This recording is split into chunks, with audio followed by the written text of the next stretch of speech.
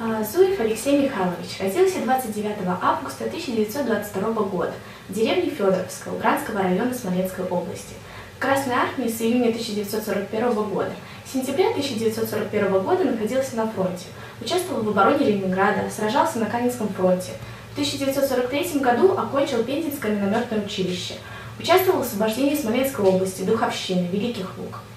К июню 1944 года лейтенант Алексей Зуев был комсоморгом батальона 353-го стрелкового полка 47-й стрелковой дивизии 6-й гвардейской армии 1-го Прибалтийского фронта.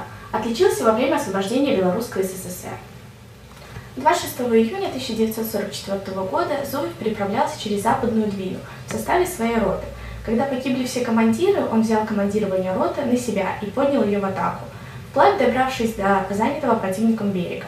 Роте удалось захватить плацдарм и удержать его до похода основных сил.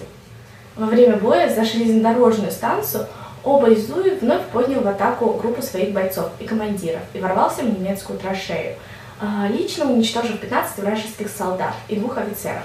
Подорвал станковый пулемет и миномет с расчетами. Также неоднократно отличался в боях на подступах и непосредственно в Полоцке. За образцовое выполнение боевых заданий, командование на фронте, борьбы с немецкими захватчиками и проявленные при этом отвагу и геройство. Лейтенант Алексей Зуев был удостоен высокого звания Героя Советского Союза с вручением ордена Ленина и медали «Золотая звезда». Был также награжден рядом медалей. В августе 1944 года Зуев получил тяжелое ранение и в октябре того же года был уволен в запас. Жил и работал на родине, потом переехал в город Полтаву. Умер 16 ноября 1952 года в возрасте 30 лет, похоронен в городе Полтавы.